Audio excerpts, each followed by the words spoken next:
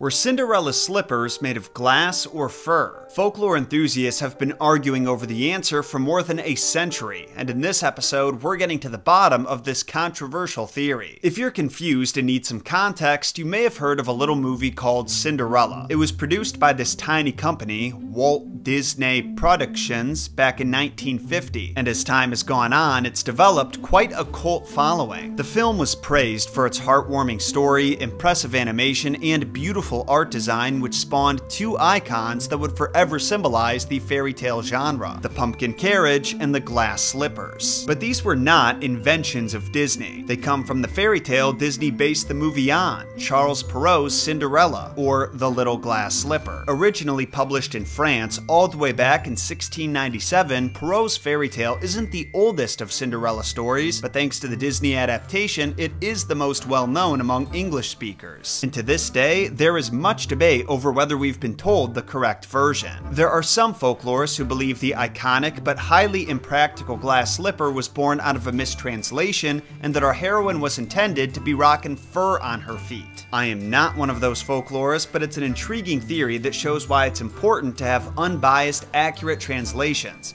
and that's why I think it's worth exploring. In the spirit of that, this episode is also sponsored by the number one language learning app in the world, Babbel. As you can tell from today's subject of discussion, it's easy for details to get lost in translation, so when you're learning a new language, you want to be positive that you're using the best possible resource. That's where Babbel comes in. There's a few different language learning apps out there, but none are quite like Babbel, which not only teaches you real-life conversation, but also explains the cultural context of languages. For example, if you're learning Spanish, you can access advanced courses on the different foods in Spain and Latin America. As you all know, I restarted my language journey a few months ago, partially because my wife and I have some vacation plans, but also because of how many different languages I come across in my research. It'd be nice to understand at least one of them, you know? So I got back to doing Spanish lessons with the app last month, and it's going pretty well. Check this out. ¿Dónde está el baño? En serio, es una emergencia. See? Even my accent's getting better no como mis entrañas. With summer right around the corner, I'm sure that some of you watching have vacation plans approaching too, but it's not too late to prep, because Babbel has been scientifically proven to help you start speaking a new language in just three weeks. And if you don't believe me, you can give it a shot yourself, because they offer a 20-day money-back guarantee, so there's no risk. So if you want to start speaking a new language and get 60% off your subscription, hit my link in the description or pinned comment. Now, I'm sure there's a few of you who are already a bit skeptical of this theory, because glass and fur have so little in common they might as well be opposites. So how could anyone get them confused, right? The answer lies in linguistics. You see, Charles Perrault was a French author, and so naturally his Cinderella story had a French title, Cendrillon ou la petite pantoufle de verre. I'm pronouncing most of that wrong, but I got the important word right. Verre. Verre means glass when it's spelled how it is in this title, V E R R E. But when ver is spelled V A I R, it refers to a specific kind of squirrel fur that only the upper class could afford to wear in the medieval era. And because there's a few different theories about when and how these homophones were mixed up, I crowdsourced some explanations from the comment section of my Messed Up Origins of Cinderella Revisited episode to get an idea of what people think happened. Some believe that Perrault originally used the word vair meaning fur, but because that word was used more in the Middle Ages and had fallen out of the public lexicon before his time, the translator simply assumed Perrault spelled it wrong and changed the word to glass when translating it to English. It wouldn't be the first bold assumption made by a translator, but personally, I don't buy this one because no one has ever been able to produce any evidence to support it. Granted, it is a 300 year old story, so it's possible that all of the first edition French prints have been lost or destroyed by now, but if you look at the version Scottish author Andrew Lang included in his Blue Fairy book from 1889, he clearly calls it glass. The reason that's important is because the source he used for his translation was written alongside the original French print from 1697, and the preface of this print clearly states the intention was to accurately recreate the original spelling, punctuation, use of capital letters, and so forth. In other words, they didn't make any changes to Perrault's original work, and they still called it glass. But once again, there is an asterisk to explain.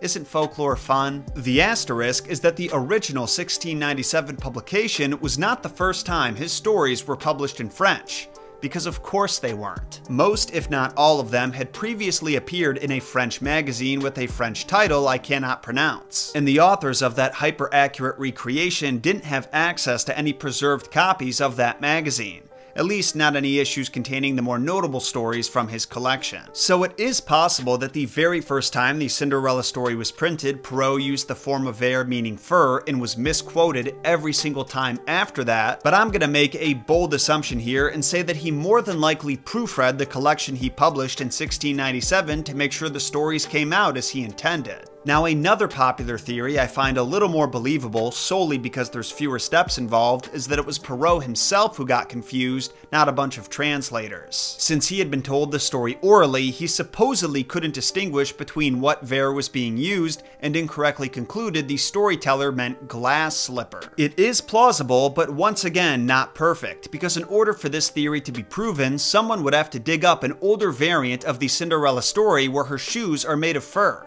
and the written record shows that doesn't exist. But we'll talk more about that later. Because at this point you might be wondering, if there's really no evidence to support these theories, where did they come from and why do people believe in them? And I don't blame you, those are fair questions. As far as we can tell, all this confusion about how ver was translated originated with one guy, a French author, Honor de Balzac. I mean, Honore de Balzac.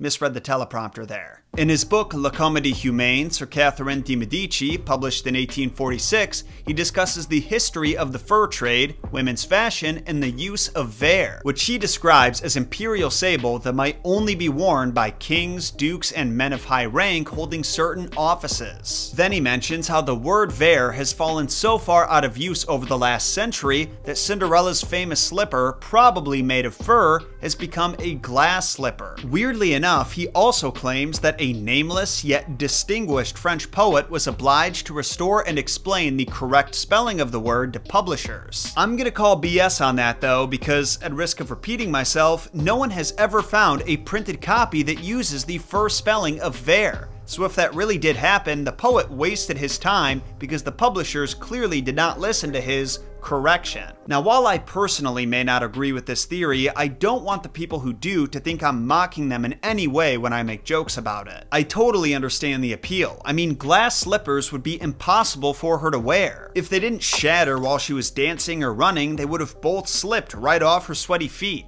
and I guarantee the noise they made while clinking on the ground was obnoxious. Changing the slippers from glass to fur eliminates all of these concerns and is way more realistic. Because that's what we want in our fairy tales, right? Realism? I mean, there is still some magic in the story her fairy godmother, the pumpkin carriage, the mice turning to horses, the birds helping her with chores, but at least those pesky, unrealistic glass slippers are dealt with, Otherwise, this story wouldn't be plausible. In all seriousness, fairy tales are like cats. They do not abide by the laws of nature. Somewhat ironically, they're often about the laws of nature, but they don't follow them. You don't even have to look at other kinds of fairy tales to know that. Let's specifically look at the Cinderella stories from other countries. In the first episode of my featured folklore series, I share the Greek variant called Little Saddle Slut. Her shoes aren't described in this version, but her dress is made of heavenly light. In the Chinese variant, the heroine's fairy godmother is a koi fish that gives her golden shoes from beyond the grave. But if two examples weren't enough, check this out. In 1893, Marian Roalfe Cox published published a book where she analyzed 345 versions of Cinderella, as well as two tale types that are nearly identical to Cinderella. Out of those 345 stories, six included glass slippers, which doesn't sound like a lot, but want to know how many had fur slippers? Fucking zero. Slippers have been described as made of silver, silk, covered in jewels and pearls, and embroidered with gold. A Venetian story featured diamond shoes, and an Irish variant had blue tinted glass shoes, but not a one mentioned slippers made from expensive squirrel fur. In fact, the only stories where the Cinderella character wears fur are stories like the Grimm brothers' All Kinds of Fur, where the animal pelt is used as a hideous disguise. But the real kicker is that Perrault himself wrote a variant of that tale called Donkey Skin, where a princess dons the pelt of a donkey and everyone mistakes her for a deformed half animal. It's not until she takes off the fur and puts on her dress that's as bright as the sun, which I would argue is at least as implausible as glass slippers, that someone of status appreciates her beauty, solidifying that Perrault's perspective on fur clothing was that it was not a symbol of wealth and status, but rather wildness and ugliness. Not to mention that while changing the slippers from glass to fur does eliminate the practical problems our heroine would face when walking and dancing, it also makes it impossible for the prince to identify his mystery woman, which I would argue is more important to the plot. The entire purpose for the glass slippers is that only Cinderella can wear them. They're molded specifically to her feet and can't be manipulated. They're also transparent, so when the other females tried scrunching their feet up to fit the shoe, the prince could see it and knew they were lying. If the slippers were made of fur, they would stretch and bend to fit any number of women, rendering the search completely useless. I tried to explain this in my Cinderella Origins Revisited episode, but as you can tell from the comments, there were still folks who insisted the mistranslation was to blame for the impractical choice of footwear. But in addition to completely disregarding how fur slippers straight up ruin the story's ending, they also underestimated the literary genius of Perrault by shrugging off the symbolism. Glass slippers are expensive, delicate, unique, and magical, and Cinderella would have to be light and delicate herself to wear them all night without shattering them into a billion pieces. Those were the qualities that men sought after in women back then.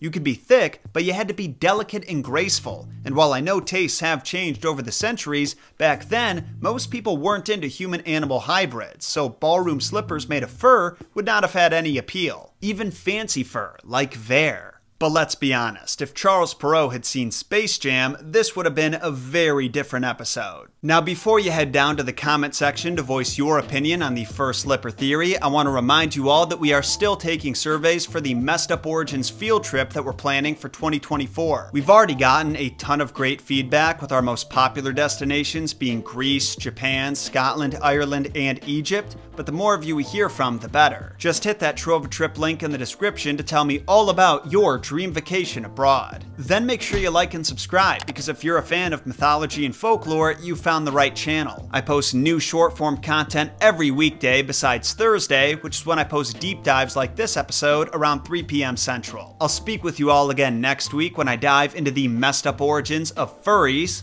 Until then, my name is Jon Solo, and remember, Jon shot first. Música